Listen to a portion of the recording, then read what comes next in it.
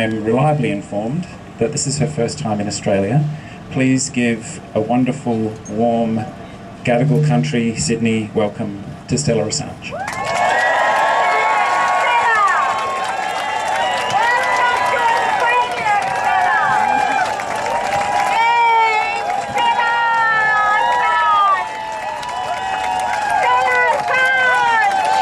Thank you. Thanks, everyone. And Scott's right. Uh, this is my first time to your land. And it won't be my last, obviously, because I'm going to come back here, home with Julian.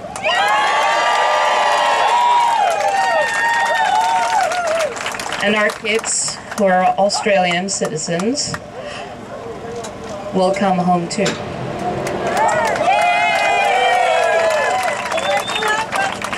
It's been a bit bittersweet because I always imagined my first visit to Australia to be with Julian and the kids. Um, but I'm just here for a few days. Obviously, the context for this trip was going to be um, President Biden and the Quad meeting, um, but they bailed. But I, I wanted to come here and be able to speak to all of you. Because I want to tell you that you guys are at the forefront of a global movement for justice. A global movement that converges on one man, but the meaning of which goes far beyond Julian's freedom. It's not just Julian who has lost his freedom, but all of us. Because in order to keep Julian in prison, they have had to corrupt their own rules and their own principles. But we've reached a point now. I really feel it. We've reached a turning point because they know that we know that they are wrong and that they are cruel and that they are torturing Julian because he did the right thing. Because he is in prison because he exposed the crimes of others.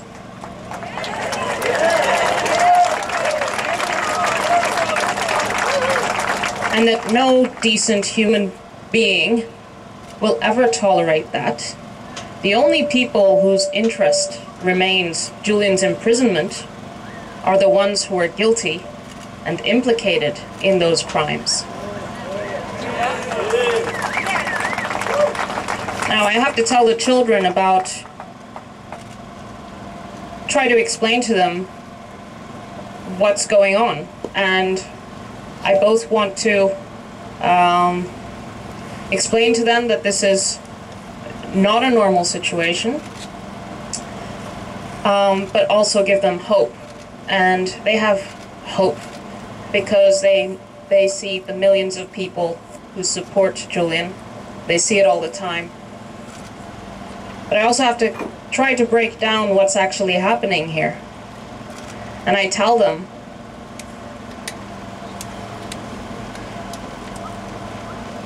I tell them that Julian showed the world that bad people were doing bad things. And those bad people then got so angry that they put him in a prison and they're holding the keys to his prison cell.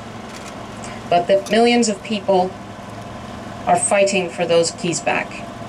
And all of you, each of you, are part of that fight. And there are millions around the world. I've been traveling to Italy, to Germany, in Mexico. John and Gabriel have just been in Mexico and they were traveling throughout Latin America. Julian's case is a case of global importance. But you guys are at the center of it because Julian is an Australian. He's a country boy. And he's from this country. And that means that the key to securing Julian's release lies with you. And you guys have been incredible over the years. I mean, I was just in Canberra and I had a meeting in a packed out room of parliamentarians. There was standing room only. And they were from every party. It's really just the entire political spectrum uh, who is now saying enough is enough. I, I, I agree with what has been said here, but let's not lose sight of what an achievement this has been because a few years ago there was radio silence. And apart from Scott and a few others, people were silent about what was happening, what was being done to Julian. And there has been a sea change, a sea change. And I'll tell you why. Because of you. Because you know how politicians are. They have opinions about all sorts of things. Sometimes they're the right opinions, but they won't express them unless they think it will further their political career. But you guys have made a very clear signal about what will further their political career. And you need to keep that going. You guys need to shout louder, fight harder, put the pressure on each of your representatives. Make Julian's situation visible everywhere, every day. On your cars, on your shirts, every day. You tell all your friends, you talk about it with your family members, you meet with your MPs, and you make sure that Julian stays top priority until he steps out of that prison. Until he comes home to us, to all of us.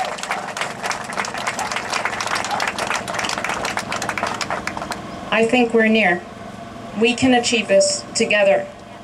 I I fight for Julian every day, but I'm not alone. I feel like I am buoyed by all of you and the enormous support that has built over the years of decent people standing for decency, for humanity, and for justice. Not in some abstract way, but in this very concrete way. And don't lose sight of the incredible community that has been formed around this case. All good people I meet, from all walks of life. People I would I thought I would never meet, uh, not because for anything, but just we wouldn't cross paths. People on which, for which uh, sometimes I would probably have an argument on one or two things, but who have a basic sense of decency and humanity and justice and who won't tolerate this.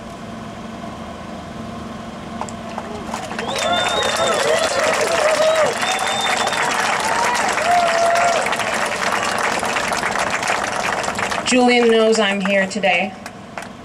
Obviously, I spoke to him this morning.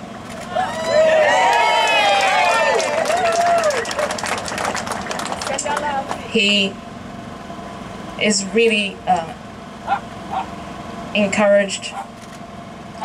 It really keeps him going, you know, because every day that passes, if the other side had been successful, he would become more and more invisible, and what's happened is the opposite. And that's because of you.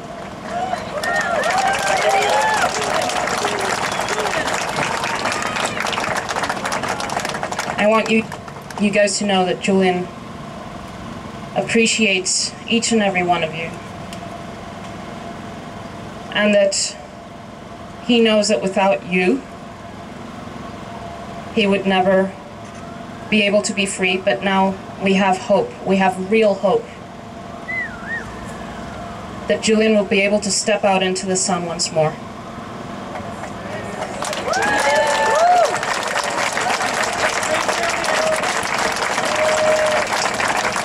I long for the day where we can come to your beautiful city and walk around these spectacular views. The harbor.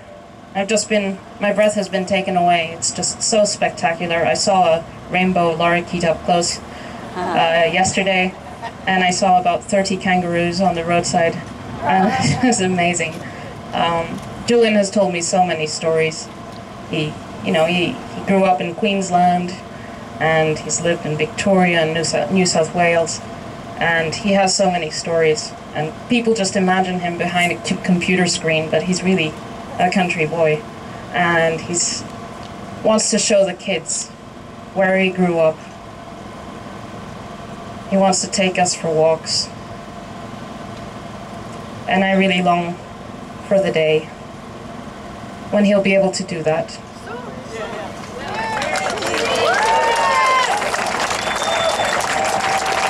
free Julian Assange! Free, free Julian Assange! No extradition! You. Yes, it's important. No extradition, but not just that. Freedom. Freedom, freedom! Let this man be. Let him live. Enough is enough. Let him come home to our children. Let him have just a dinner at home, you know. Let him sit on the couch.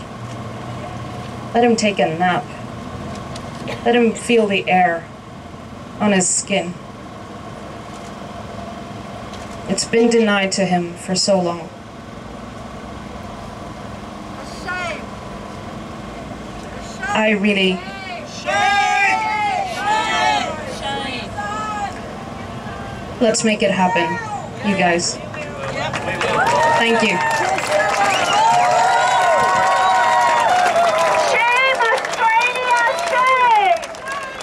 Can you please show your appreciation to this extraordinary woman who's travelled so far and worked so hard?